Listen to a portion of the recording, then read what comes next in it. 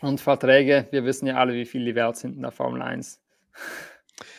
Wenn man denn welche unterschrieben hat, und das ist eine sehr schöne Überleitung zum nächsten Team, wenn man Verträge hat und die unterschreibt, dann können sie viel wert sein. Wenn man sie nicht hat, dann geht es so aus wie bei Alpine in diesem Jahr. Tobi hat eben schon den Piastri-Deal angesprochen als ein Highlight bei McLaren, dass sie ihn sich gesichert haben.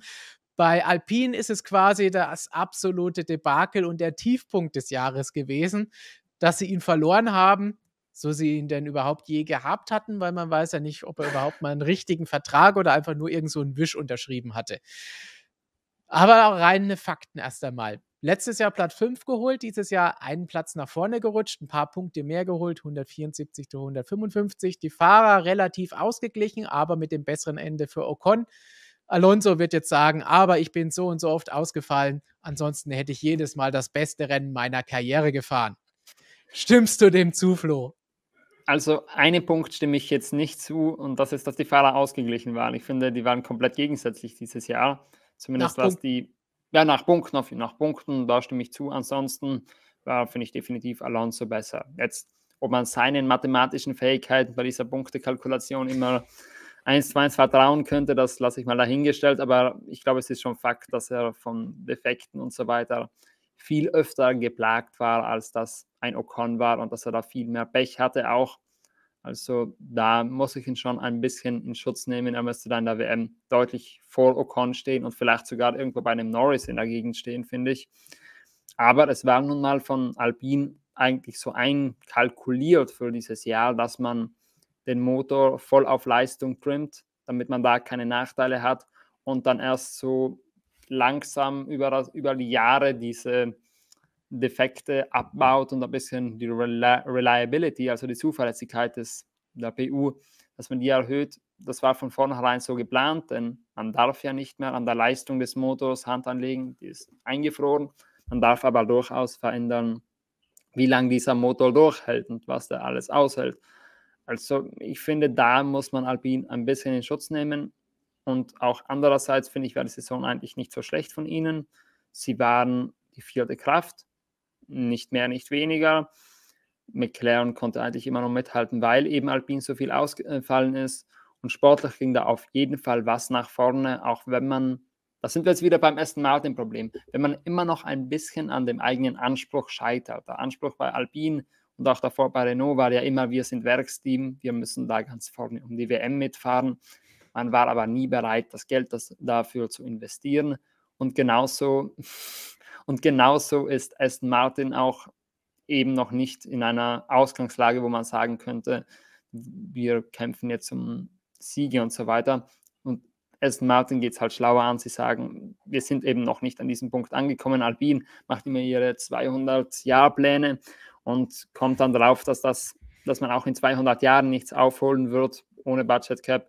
Und wenn da, das habe ich mich ein bisschen vertan, dass man uns auch in 200 Jahren nichts aufholen wird, solange der Budget Cap nicht in Kraft war. Erst jetzt wird man das schaffen, weil man eben gleich viel Geld ausgibt und wenn die Teamführung passt. Also ich finde, klarer Schritt nach vorne. Man hat gezeigt, dass bei Alpine durchaus mit eben begrenzten Geldmitteln was rauszuholen ist. Jetzt müssen noch die weiteren Schritte folgen und ich glaube mal, ein erster guter Schritt dahin, dass die anderen Schritte folgen, wäre, dass man mal das Team und die Führungsstruktur so lässt, wie sie im Moment ist. Denn das war in den letzten Jahren, finde ich, immer so ein Problem.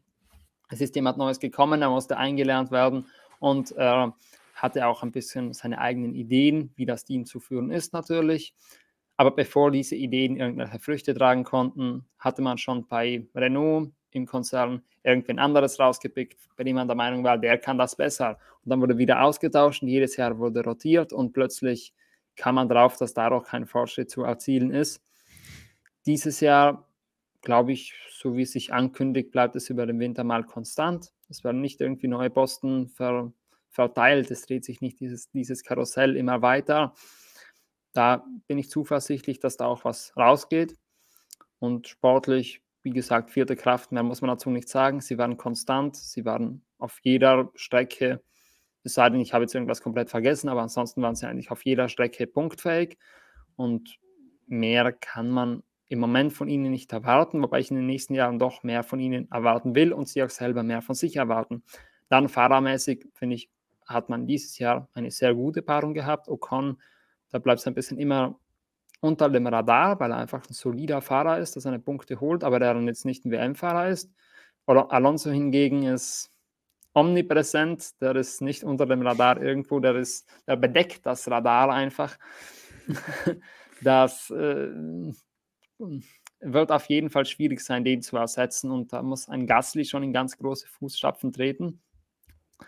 Wenn wir mal vom Sportlichen abblicken, dann war das gleichzeitig eine katastrophale Saison für die, denn man hat den besten Fahrer verloren, den sie im Moment hatten. Man hat gleichzeitig auch äh, den die beste Zukunftshoffnung verloren, die sie hatten. Da wird ein Jack Duhan, so viel traue ich mich zu prognostizieren, nicht herankommen an das, was ein Piastri in der Lage zu sein scheint zu leisten, denn ganz so genau muss man das ja noch nicht sagen. Und gleichzeitig hat man auch schon letztes Jahr die Fehlentscheidung getroffen, mit Ocon zu verlängern.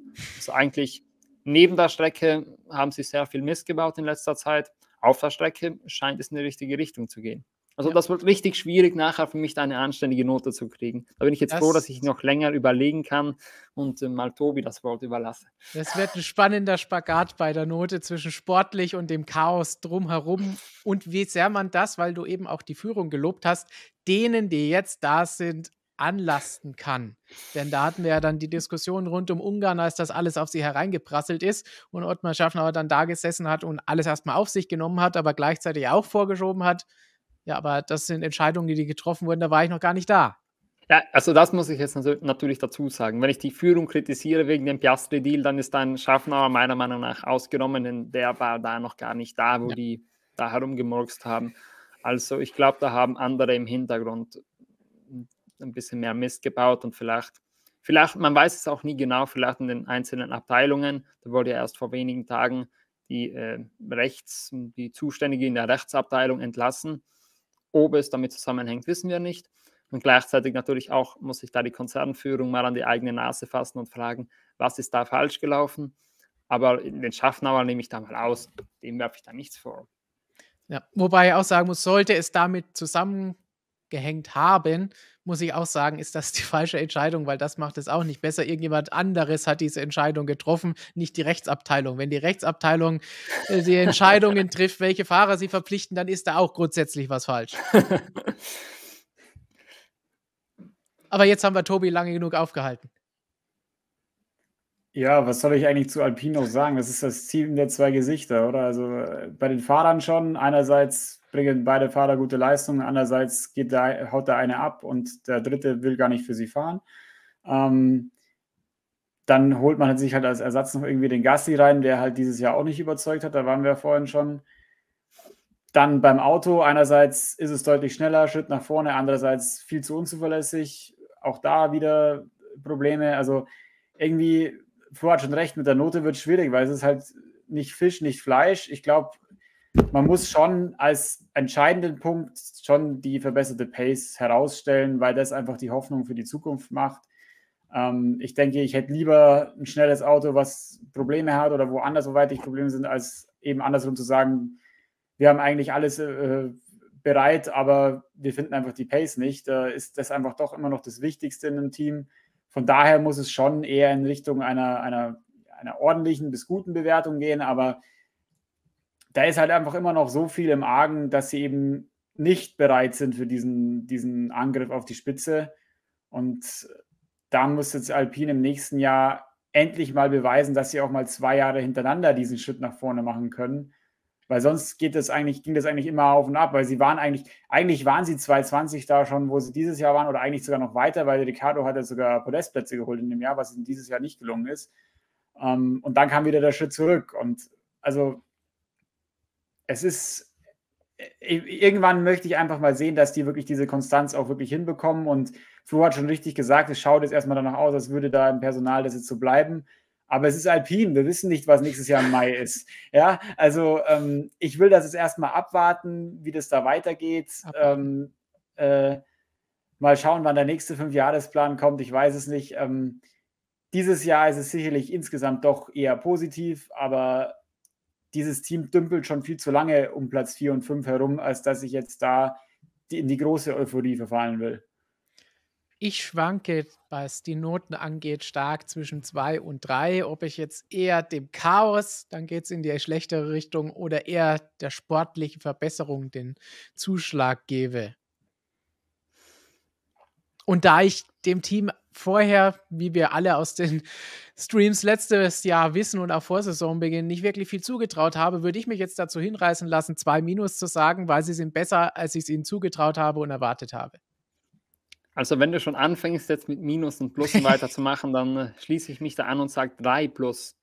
Also für eine 2 vollen dran reicht es dann nicht, aber 3 Plus finde ich ist eine solide Bewertung für sie wenn ich McLaren eine 4 gegeben habe, dann muss ich Alpine natürlich besser bewerten.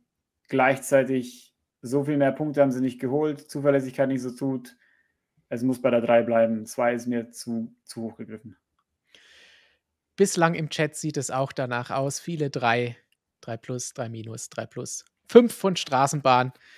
nicht davon beirren lässt. die Posse mit Piastri veranlasst ihn zur also, 5 die Führung gehört zum Team. Äh, okay, wann wollte also Renault nochmal Weltmeister werden? Seine Frage. In fünf Jahren, immer in fünf Jahren. das ist eigentlich immer ja. konstant. Das ist die Konstanz, die du auch ja. bei der Leistung haben wirst auf der Strecke. Das ist die Konstanz. In fünf Jahren wird es klappen. Oder mittlerweile in 100 Rennen. Ja, wobei ich jetzt nicht nachgerechnet habe, wie viele sind noch über? 80 von diesen 100? Weil wir hatten doch letztes Jahr gegen Ende irgendwann mal diesen 100-Rennen-Plan, also müssten jetzt 75 oder so Aber noch übrig sein. Aber Rennen haben, wird es immer kürzer, das stimmt. Ich glaube 75 oder so, was müssten es noch sein? Dann ist Alpin Weltmeister, hochgarantiert. Wissen wir alle. Das ist dann, wenn Alonso zurückgekommen ist. Ganz genau. Das ist, was Alonso macht. Irgendwann kommt er immer nach Enstone zurück.